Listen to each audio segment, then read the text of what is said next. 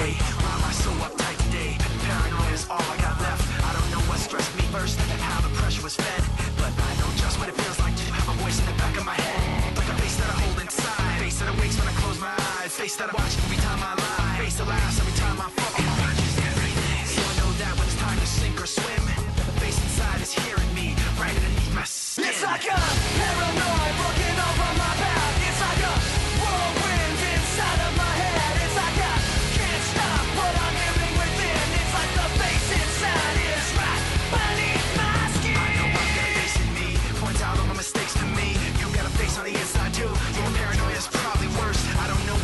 I'm first, but I know what I can't stand. Everybody likes it. The fact of the matter is I can't add up to what you can. But everybody has a face that they hold inside. Face that awakes when I close my eyes. Face that watches every time they lie. Face that laughs every time they fall.